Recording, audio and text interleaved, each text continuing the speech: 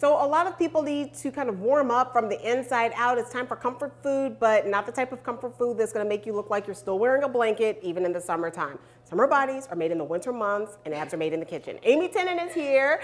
She is from a cup full of sass, okay? And she has a really, really cool chili. It's vegetarian, yay for me. Yes. Um, a little higher protein content, what you got? This is a vegetarian quinoa chili. Mm, okay, so not only is it going to be healthy, but it's packed full of your protein, Mm-hmm. fiber, Yep. and it is delicious. You guys are gonna love it, and you're not gonna feel guilty about eating it either. Okay, and that's all I need. Yeah, I, I yeah. just just take down the guilt factor. Okay. Exactly. So I see we have peppers and onions already in the pot. And a little garlic, yes. So we sauteed that already just to save time. Mm -hmm. Um, over here we have the quinoa that I've already prepared. Okay. just to save a little time as well. And we use veg- uh, vegetable broth for that. Okay, Adds yes. a really, really good flavor to the quinoa. Yes, it does. Okay, now we're gonna add in the beans. Okay. Would you like to do that? Sure, I sure would. Three how- kinds. Three different kinds of beans. What do we have here? Pinto, black beans, and um, uh, kidney beans. Kidney beans, okay. Yes. So we're just gonna mix that a little bit, and then we're going to add in the uh, tomato sauce, Okay. red gold tomato sauce, two cans of this. Mm-hmm. It's gonna kind of start with the soup consistency of the chili, Yeah. and then we're gonna add in uh, the chili ready diced tomatoes. Now something else I noticed you said the soup consistency first, then kind of the chunkier ingredients Exactly, next. exactly. That way it just kind of has time to simmer together and then it will kind of thicken, thicken up uh, towards the end.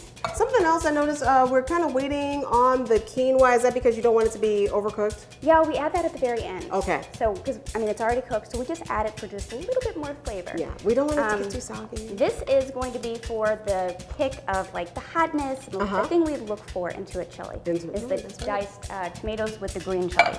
Okay. Little bit of seasoning. We don't Uh-huh. need a lot. So there's cumin, there's oregano, there's Mm. um, chili powder, a little bit of sugar, and just a little bit of salt and pepper. Okay. Okay, so we're just gonna simmer this for about 10 minutes. Mm-hmm. Um, once it's all, you know, mixed well, then Yeah. we're gonna add in the quinoa and the uh, vegetable broth. Oh, more vegetable broth. Hey, very good. Sounds tasty. Now, uh, something else for those people with certain dietary considerations, like if they have to go sugar-free, they can, right? They can just Absolutely, leave that out. absolutely. You don't even really have to add flavors to it because Yeah. it's so flavorful, the red gold tomatoes as well as, as it is. I have to say, this So- smells amazing. How long do you let it simmer for? I would do just about 20 minutes total. Okay. 20 minutes altogether. So now we can add the Go quinoa. ahead and add the quinoa. Let's go ahead and get that bad boy. Do you mind if I uh, mix No, this? absolutely not. Yeah. Because when I was raised cooking, they said, don't mix the Don't spoon of the yeah. ingredients. But it's all going in the same pot, That's so it's totally okay. So one mix pot. that in right there. Now I'm just gonna add in the vegetable broth. Yes.